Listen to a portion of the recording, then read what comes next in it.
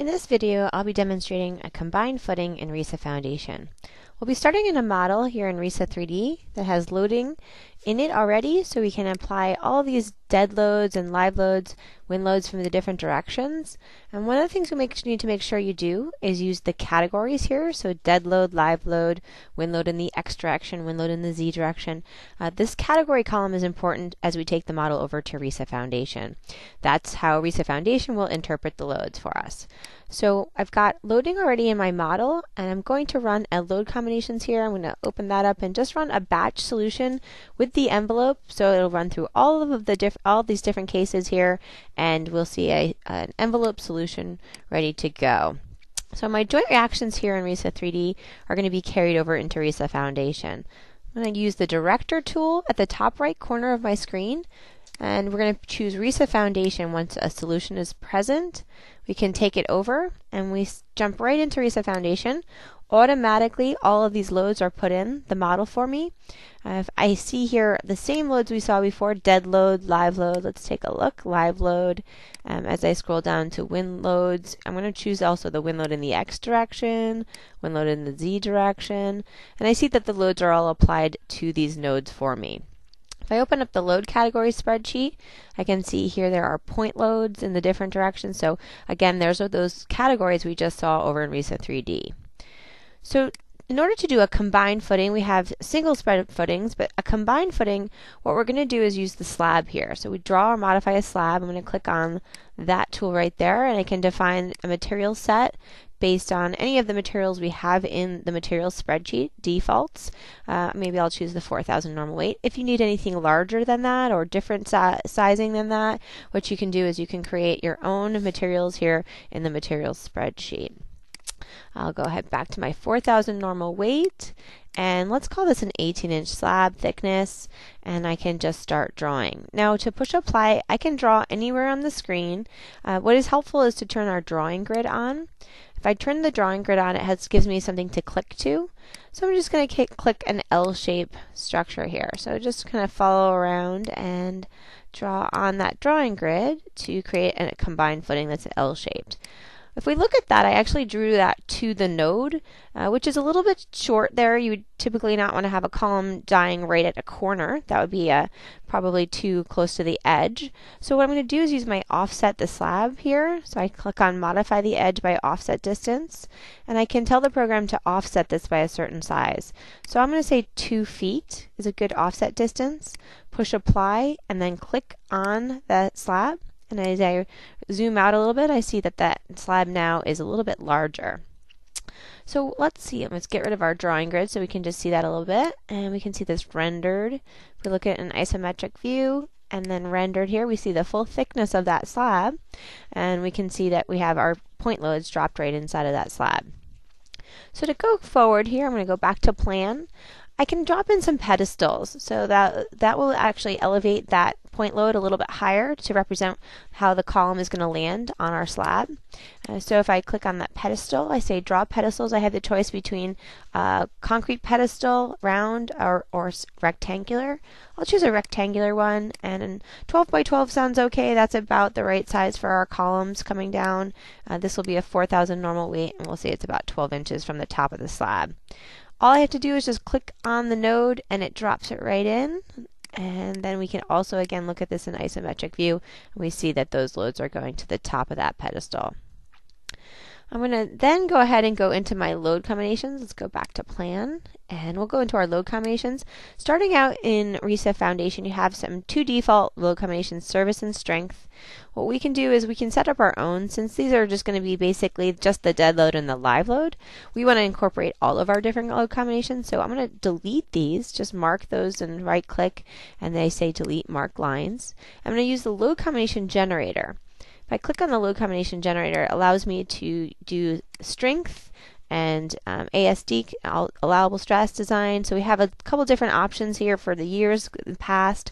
I'll pick the, starting out with the IBC 2012 ASD. I'm going to choose reversible wind loads. And it is important to say the X and the Z since I use WLX and WLZ in my load categories over in RISA 3D. So I click on generate. I can go back in one more time and I'm going to do the strength there. So I'm going to say X and Z and reversible and say generate. So we see now if I look at this here, I have a variety of different combinations. Service is checked on for here all my ASD combinations, and then strength is, is over here. Okay, so we see all that listed for us, automatically done. So I'm going to close that, and then I can solve this model. I click solve, and it's going to run through and put point loads on all of those. Those we're running through all the different combinations, and it's going to design here the stresses in the slab. So we haven't addressed any of our design information just yet. All we've done is apply loads to the slab, and we're going to see how that slab behaves for all the load loading we've applied. Um, we can see the forces and all the moments, all, everything that's happening in that slab. So we've run through a long list of load combinations, so it's going through each single one and giving us some results here. So closing this out here, we can go, there's a lot of different information in the results. We can look at the point reactions of what's happening underneath the slab. Uh, we can look at point deflections if we're concerned with the deflection criteria. It's, we, it's important to note that the soil properties are being based off of the information on our global parameters. So if we go back to our global parameters, our solution tab, information for the entire soil parameters here are our subgrade modulus here and our allowable bearing. So when we're looking at our point reactions and we're looking at the soil pressures, those are information that's coming right off of that global parameters. So we can see if the, the, allowable bearing is listed here, and this is the soil pressure that is going to be listed for our model so far. So everything's very, very um, under what we're allowed here for our allowable bearing, which looks all looks good. Um, we can also take a look at the slab itself for its forces. We have spreadsheets, plate forces, and plate corner forces, but sometimes it's difficult to interpret in a spreadsheet. It's a lot easier for us to see on the screen some of the contours. So you can use the tool up here to help us with these contours. This is a quick icon that'll go through the shear, the moment in there, um, also, we can look at the soil pressure on the screen, which is helpful, um, as well as that displacement right on the screen here graphically. So once we've gotten a handle on the slab behavior, it's what we want to do here is get design for this. So we're looking for the reinforcement design. So I can look at the design rules that we're going to be applying. If we go to the design rules spreadsheet, there is a mat slab tab there, and that gives us the top reinforcement and the bottom reinforcement. It also tells us the sizing that we're going to be going from. So it's going to be from minimum spacing for 3 inches up to 8 inches, 18, excuse me, 18 inches, and then we see that same thing for the, for the bottom bars. Um, right now, the program is going to optimize whether it needs top and bottom or just mid uh, depth only. So we've got, we're going to say it's optimized. So the program we want now we want to tell the program where to put that reinforcement. So the way we do that is with the design strip. On the left side of the screen there's a design strip button. You can click on that and we're now saying whether we want to have it horizontally run that rebar or vertical. So we'll go in both directions and we'll say plan horizontal. We'll start with that. And I'm going to click on the nodes there. So I can just click on nodes in order to create that horizontal. And I can just turn my drawing grid back on and that'll help me. And I can get here all of my reinforcement for this direction, horizontal. I can also go ahead and turn and do it in the vertical direction. So I'm going to go back in design strips and say plan vertical and I can click on these nodes and then I can click on a midpoint here and I'll go down to, there we go. So I have now a horizontal and a vertical reinforcement design strip. Internally, the program is doing is it's cutting inside of this design strip and making cuts across that. So it's an internal force summation or what we call here is a design cut. And I can display these design cuts uh, right on by clicking on our our bicon here. It says these are our auto cuts and we can say no labels. We see that it's cutting across this design strip 50 times. That's a default. That design strip has 50 cuts, and that's listed here as our default number of cuts. Uh, you can increase that. If it's a really long design strip, I would recommend to increase that number. Sometimes it's really sh a short design strip, 50 might be too many, uh, but 50 is a good starting number. So internally, the program is cutting across this line and is getting a summation of forces across that line. If we're seeing in that design cut is then we're going to see some of all the forces inside of that.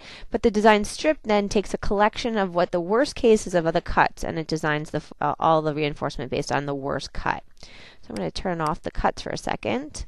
and let's take a look at our reinforcement. So when we look at the design strips here, cut results, we have them in spreadsheets. So we look at that strip reinforcement. We have design strip 1, we have design strip 2. Both of these are going to give us the reinforcement for each direction, and then it tells us the governing cut. Another way to look at this instead of a spreadsheet, it's a lot easier for us to see this in our detail report.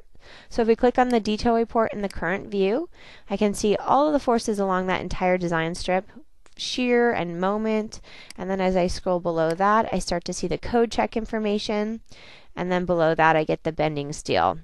So this bending steel here tells us exactly what was put in provided bars and it tells us for the top and the bottom provided bars and the cut that governed there for us. So the design cut 1 for design strip 1 cut 29. If we see cut 29, I'm going to click on that, and I then see this is the information for that that governed for that cut. So we've got the top reinforcement listed with the governing MU here, the FMN top, and then it breaks it down into the top reinforcement as required versus what was provided. We can also go back to the strip here. We see that also for the bottom bars, if we scroll down, we see that the design strip cut uh, 7 was the one that was governing for the bottom. So it jumps to 29. We can toggle through to find the cut 7. So I'm going to jump back to 7. And this was controlling for our bottom. So this is a pretty lowly, low stress. So probably what's happening is a lot of this is going to be based on the minimum requirements for steel. So we might want to say, hey, number 8 at 18 is probably too large of a bar. We could go ahead and change that. So if we went back to our footing, our, our design rules, here we see that we have our, our reinforcement dot number fives.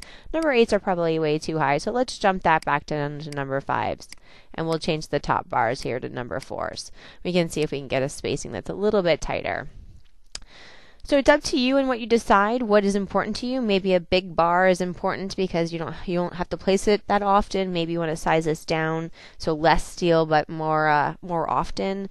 It all sort of depends on what's important and uh, maybe the labor cost is important or versus the steel cost. Um, so those are toggles that you can change this one you might even be able to tell the program here to maybe not to to force mid mid depth might have been more helpful for you. But all those things can be adjusted. Okay, so once we have all that, we can just see, let's take a look what our spacing is. So we did get a little tighter spacing. So we're looking at this now. If we look at the reinforcement, we're seeing that now we went to number 4 bars uh, at 14 and number 5 bars at 16. So it's changing the reinforcement spacing for us. And that is the conclusion of a combined footing in RISA foundation.